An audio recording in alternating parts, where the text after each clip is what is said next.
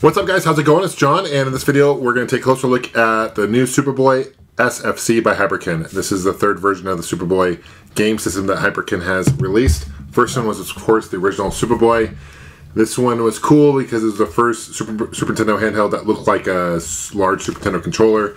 I love the design. The bad thing about these were the dependability. Mine, for example, doesn't work anymore. The screen uh, went out, so that was a huge issue. They did step it up with a Supaboy S they released a couple years ago, and the, the biggest issue with this was it was 16 by 9. It wouldn't be a 4 by 3, which is what the normal ratio, aspect ratio for retro games is. A lot of people complained about that. The screen kind of felt stretched but they did definitely improve the, the dependability. This is a really great handheld. I still play my Supaboy S handheld today until, of course, I got this one, the FC. The biggest difference between this one and the Supaboy S is you'll probably notice the buttons are a little bit different. The FC is more Famicom button style. Uh, as well as the aspect ratio. You can now play in 4x3, that's the biggest difference, and I'll show you how that looks like in a second. We're also going to compare this to a standard Super Nintendo, uh, to see what it looks like as far as color palette goes. This is not HD. There's no HD out on this, unfortunately. It does come with cables to connect to your TV, the AV cables, but there's no HDMI. I'm, assu I'm assuming that will probably happen in their fourth reiteration of this system. However, I do wish it was HD. I think, you know, they, obviously are coming out with new HD retro console clones. It'd be nice for Hyperkin to include an HD out for this, but in this case, it's not. Uh, and uh, one thing also notice, and I never realized this until now, but the buttons on the Fam Super Famicom, obviously they're colored, but they're also different. If you ever look at take a closer look at a Super Nintendo controller, you notice that the Y and X buttons are more concave, and I've always been used to that. Uh, in this case, they aren't, and that's actually true to the original style of the buttons because I have a Super Famicom controller. I confirmed, and indeed, those aren't concave. I've never really noticed that difference before. I don't know if you guys have noticed that either, but I find that kind of interesting, and it does make a difference as far as I feel for the buttons because I grew up playing on the Super Nintendo, not the Super Famicom, and it's a big difference. Uh, and uh, I believe the PAL version as well for Super Nintendo is the same way as this as well. Correct me if I'm wrong on that. Uh, but let's take a closer look at this. We'll show you what's included in the box, do some, some gameplay footage. At the very end of the video, I'm going to share with you my final thoughts about the Super uh, Supaboy SFC. I appreciate you guys liking this video. That means a lot. Please subscribe. That's awesome if you do that. And we'll go from there. Thanks. Alright, so let's take a closer look at the box first. Um, and uh, same style as you would see with the typical Hyperkin box. They've got this kind of cut corner there. It's pretty standard. Um, on the back, it shows you the different layout, different button layouts, all that good stuff. Let's go ahead and open this up. Of course, you have the system as well. You do have this cable here to, to charge it, which is nice. So it's a USB with a micro USB uh, in there. Uh, tip, there is no adapter wall charger on it. So very similar to like what Nintendo does with the 3DSs or the 2DSs, whatever. I guess they assume that you already have that adapter. If you have a cell phone, you probably already have that adapter. Not a huge issue, but doesn't come with a wall adapter, so keep that in mind. You can still plug it through your computer and charge it that way through USB. That's not an issue. Uh, it takes it charges fairly quickly, uh, about you know five six hours to charge. I'm not quite sure how long the battery life uh, battery life lasts. If I were to guess, I think closer to, to eight plus hours or more. So I've never really had any issues with the battery life uh, lasting and dying too quickly. The lithium battery. It also comes with the AV cables. This plugs into the Supaboy SFC. And those are the red, uh, yellow, white cables. Um, you have a nice little travel pouch here for the Supaboy. Uh, that's come came with all the previous two versions as well. Uh, and of course you have your instruction manual uh, pretty basic information, button layout. It does have uh, controller ports in the front, which I'll show you here. Uh, so you can plug this into your TV and then you can actually turn it into a console. It doesn't come with any external controllers, so be aware of that. These are the two speakers are here, obviously the, the buttons. I have noticed that the buttons are slightly smaller than your typical Super Nintendo controller.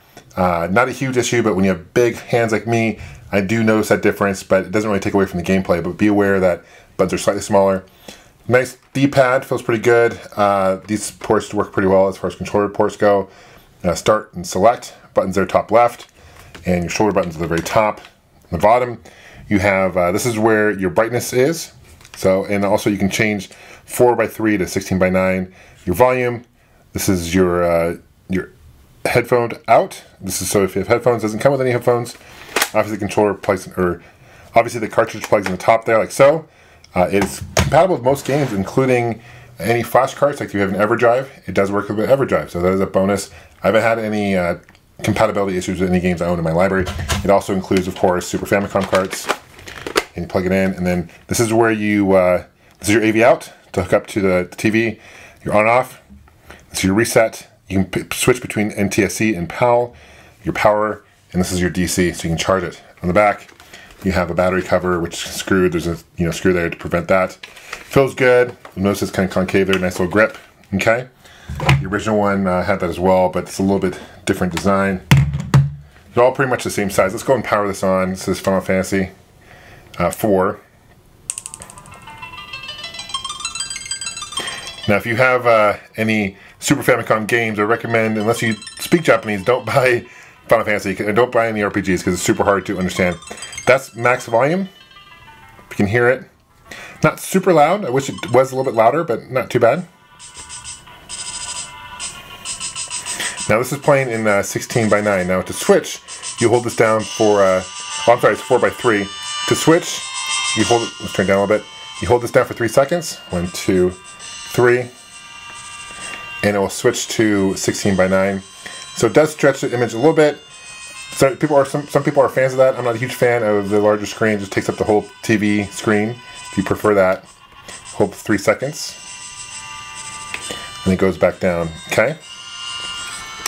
It does grip pretty good. It holds in there nicely, but it doesn't like grip it super tight, which is nice. It's, it's loose enough where you don't feel like it's going to tear your uh, your boards or anything like that. Here's plugging this Total Carnage. This is a great game. Uh, if you ever played Smash TV, this is kind of the unofficial sequel to Smash TV in the arcades. Kind of an obscure game for the Super Nintendo, but really fun. Highly recommend it.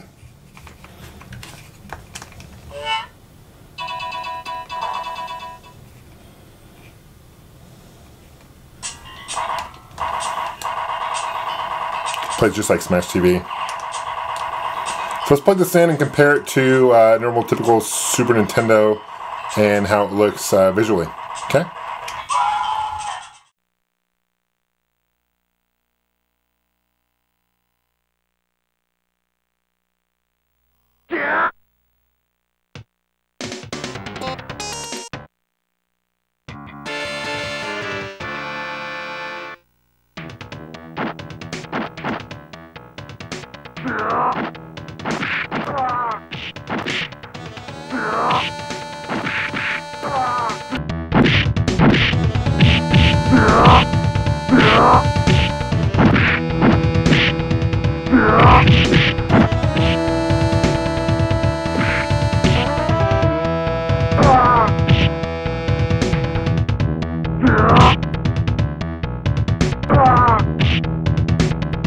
So, in conclusion, what I think about the Supaboy SFC, overall, I think this is a really solid handheld Super Nintendo clone, to be honest. I think it's probably one of the better ones on the market you can get. It retails for $100 US.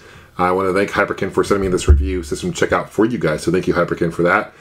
The only two downfalls on this are the fact that it's not HD. It doesn't have, there's no HDMI cable. It doesn't come in that. So it is standard. It'll play standard on the TV, standard def.